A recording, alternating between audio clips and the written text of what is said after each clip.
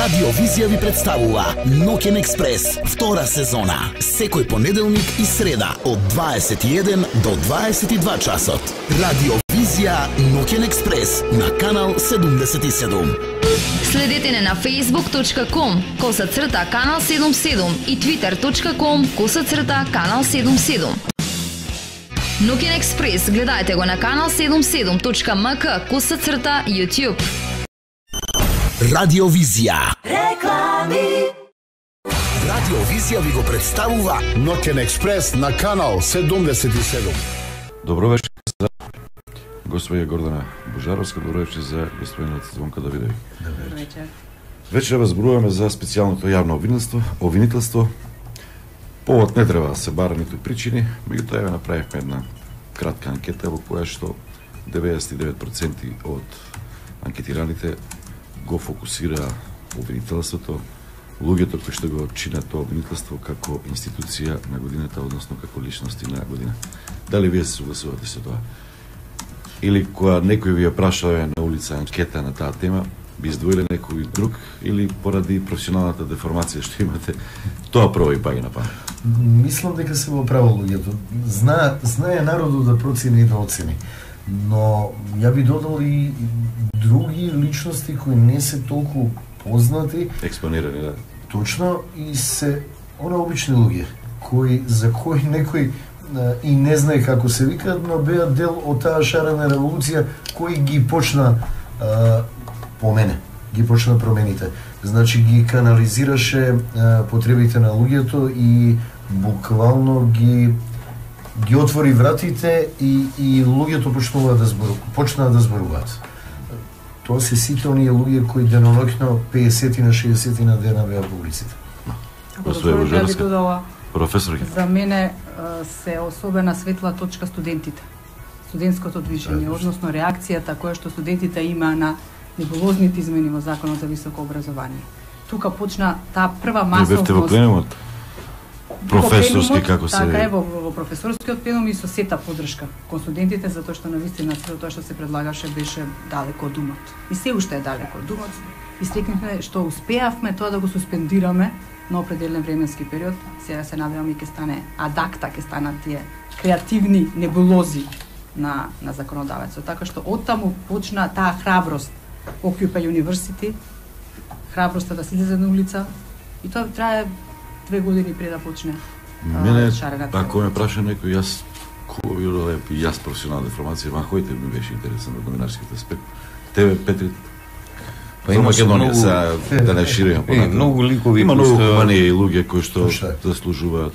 одбележа оваа година, но ете, тука некаде се врти кругот помеѓу главните политички актери, СЈО секако како јунаци на е, граѓанството. А впрочем, тоа го покажуваат и анкетите. Многу висока доверба до сега не вообичаена за некој политичар. Покажуваат во сите тие анкети личностите кои што го чинат специјалното јавно обвинителство. Па види, целата приказна имаше и има своја пиар или, како да речеме, пропагандна димензија во јавноста и од страна на тие кои што го критикуваа јавното обвинителство, но и од страната која што го поддржуваше па тоа од мобе, меморабилија, значи како нели како за Че Гевара што се прават мајци, упалјачи А, и така натаму имаше Така секакви така е. такви Добро, работи, значи се создаде една приказна која што не беше само немаше своја димензија само јавна во онаа смисла тесна на зборот јавност, нели дискусија за некое прашање кое што е пра, правно, но допира еден широк јавен интерес. Ова се претвори малку и во нели во поп или во во теми кои што се под- податливи за жолтиот печат и така. Видите, невообичаено е да јавно обвинителство биде главниот бренд и светлата точка. Меѓутоа, ние соочени со оној криминалитет што го имаме, едноставно специјалното јавно обвинителство, како да речам, се издигна, ако така можам Како да единствена кажам, надеж. на таа на тој пиедестал поради надежта, поради е, сето она што се очекува Дека моќните не се недопирливи. дека едноставно а, затворските институции постојат за да таму бидат оние кои што а, историја онаков криминал да целата држава е засегната. Сите сме ние жртви на целото тоа. Така Професорке, но како ги очај. оценувате оние критики за неподготвеност, за површност, за спектакуларност, за политичка пристрасност, па и за непотизам, нетранспарентност за толку голем буџет? А видете, Една од кажам, забелешките на анкетите што ги имаме стемено е токму тоа еден од анкетираните рече дека премногу се бавеа со маркетинг и политика, премалку со а го поддржува специјалното јавно обвинителство, премалку со суштина. Видете, ви кажам, ние сме навикнати додека постоеше само редовното јавно обвинителство, ова обичното, условно речено, прескоперициите да ги држат представници од Министерството на внатрешни работи, што е сосема погрешно. Имаше и една Значи, пресконференција се кај што седна заедно министерот за внатрешни, обвинителот и председателот на судот. Дали е Тоа тоа беше- вообичаено или покажува поврзаност на Тоа беше- властите кои треба да бидат поделени? Видете, ви кажам, тоа беше само во еден случај, тоа е експониран случај со познатиот новинари и несреќата што се случи, тоа е нешто што ќе треба да се испита дополнително, што всушност се случи, секогаш кога поминуваме по истиот пат се прашуваме како можеше тоа баш на тој начин да се да се одигра, тоа имаше нус ефекти кон Кежаровски и така натаму, значи тоа е прашање кое што навистина заслужува темелна анализа.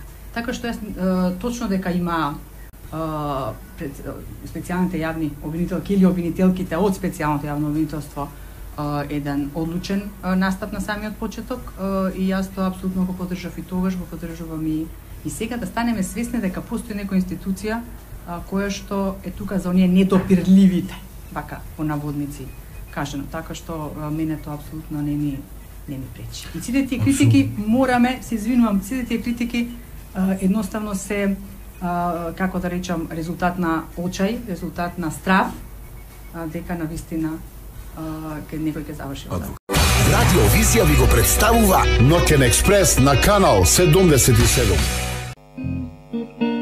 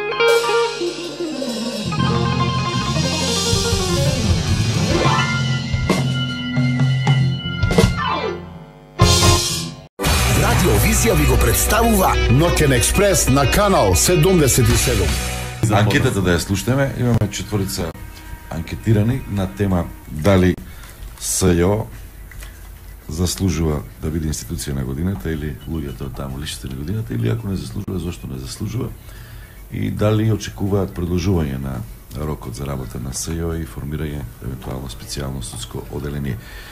Првите двајца се адвокатот Александар Наков, да, и уште еден адвокат Никола Лазаров. Специјалност Штипјани се и двајца.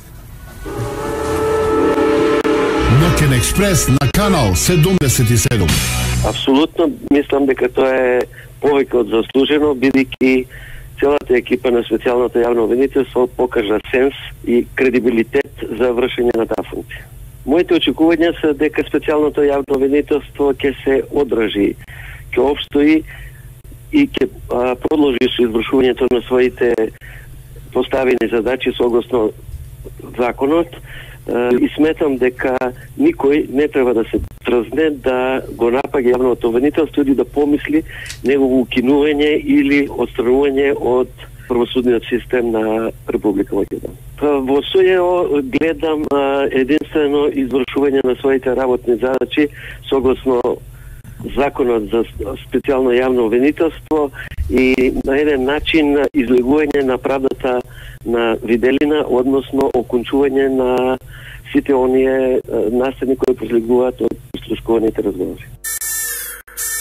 Се око посебен орган го заслужува епитетот за најдобар орган во Република Македонија, да толку повеќе што имаше доблест и храброст да излезе со повеќе обвиненија, независно од натамошната поставка како испадна пред суд и што се случуваше. Лично сметам дека СЈО не смее да престане да постои.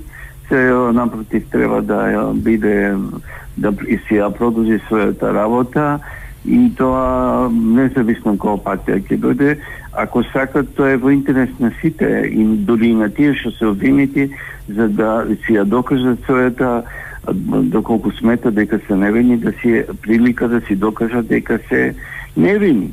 Затоа што секој пат после сите овие настани ќе остане да виси во воздух, да лебдие на нерачистена ситуација, дали некој е виновен или не е виновен. Воопшто не е битна санкцијата.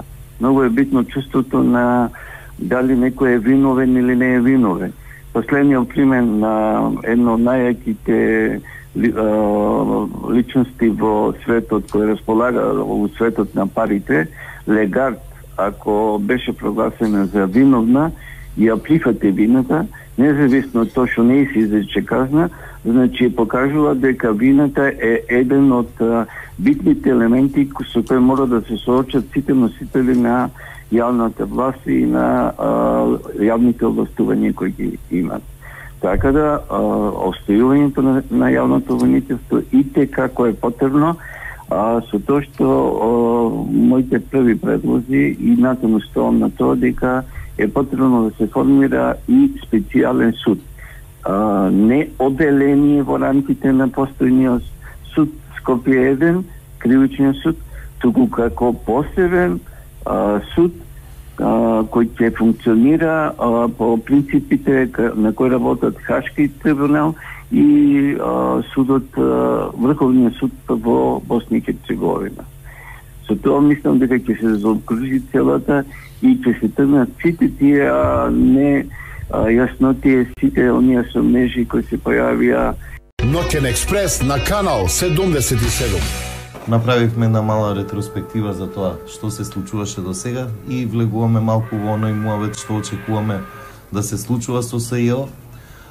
Неодамна почна веќе прв пат ги видовме обвинителките на специјалното обвинителство во судница. Очекувате ли набрго да почнат да се случуваат и други судења?